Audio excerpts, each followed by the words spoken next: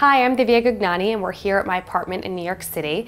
Love having wine with dinner and having it when my friends come over and here is how to open a bottle of wine. The most important thing is to take the foil off the bottle first. Hold the bottle like this and just kind of do two sharp motions.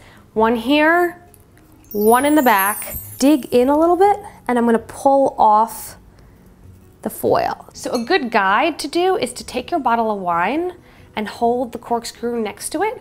And when you see you're kind of about center this way, you can put it in directly there. And that's gonna get you to the middle of the cork, which is where you wanna be. Start pressing in slowly. And I do it right in the center. So you get that squeezing sound. I'm going all the way in the middle, all the way down. So I'm gonna hook on a side right here, apply pressure and pull out. See that? I've pulled out pretty far and I can pretty much get it right out to the end. Now it is time to drink it. Enjoy. For Q&A, photos, and more, visit behindtheburner.com.